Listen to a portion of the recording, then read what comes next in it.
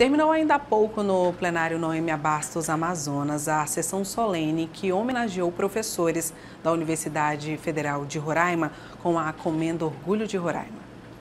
Há oito anos, no estado de Roraima, o professor Rafael Boldrini, com a ajuda de acadêmicos da UFRR e instituições parceiras, catalogou 25 novas espécies de animais. Somente em 2022 foram três insetos, que até então eram desconhecidos pela ciência. Ele veio de um aluno meu, de Pibique, né, em parceria com um pesquisador do Instituto Nacional de Pesquisas da Amazônia, o INPA, lá em Manaus.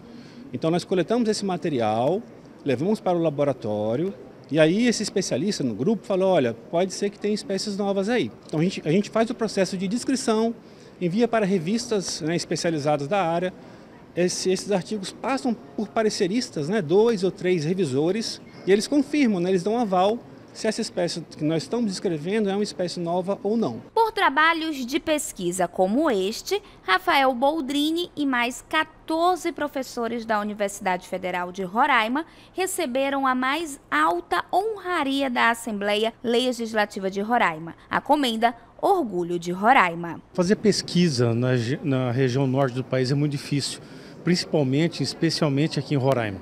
Então, participar e ser citado num ranking internacional, 15 docentes da nossa universidade e principalmente ser reconhecido pela Assembleia Legislativa é, é uma honra muito grande, um reconhecimento de um trabalho diário, difícil, sem recurso, no momento associado a uma pior pandemia da última década e mesmo assim Roraima está presente em pesquisas internacionais. Então toda a comunidade só tem que agradecer o reconhecimento da Assembleia Legislativa. O reconhecimento veio em conjunto com o ranking de pesquisas científicas que os professores foram citados. Ele serve para mensurar a qualidade da pesquisa que ocorre dentro do BRICS países em desenvolvimento, à época Brasil, Rússia, Índia e China. Né? Hoje a gente até comentei contigo, nós podemos chamar de TICs, né? Taiwan, Índia e Coreia do Sul. Mas esse ranking, ele, ele, ele, ele, ele traz à tona o que se melhor produziu nessas localidades. Claro que em comparar, é, os americanos não fazem parte desse ranking, mas como eu citei, os chineses que fazem parte desse ranking superam a produção científica norte-americana hoje. Né? Então é uma coisa de extrema importância para a Universidade Federal de Roraima, uma honraria, e para nós, o Estado de Roraima, saber que nós, estamos, nós temos uma, né, uma matéria-prima de excelente qualidade aqui. Fabiana Granja é professora de Biologia Molecular. Há 14 anos, na Universidade Federal de Roraima, desenvolve pesquisas sobre vírus emergentes. O grande ponto foi na época do dengue, na entrada do dengue 4, então nós fomos nós que detectamos e hoje a gente faz a vigilância, vigilância da e a gente é um, é uma cidade, né, um estado de fronteira. Né?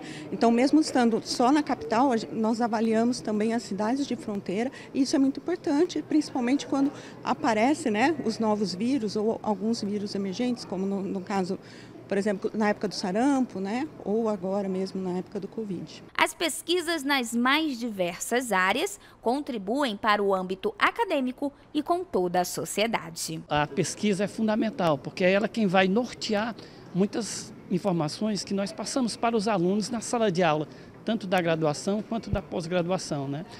A pesquisa ela busca responder algumas perguntas que a sociedade tem. Então, investiga-se e tenta apontar possíveis soluções para aquele problema.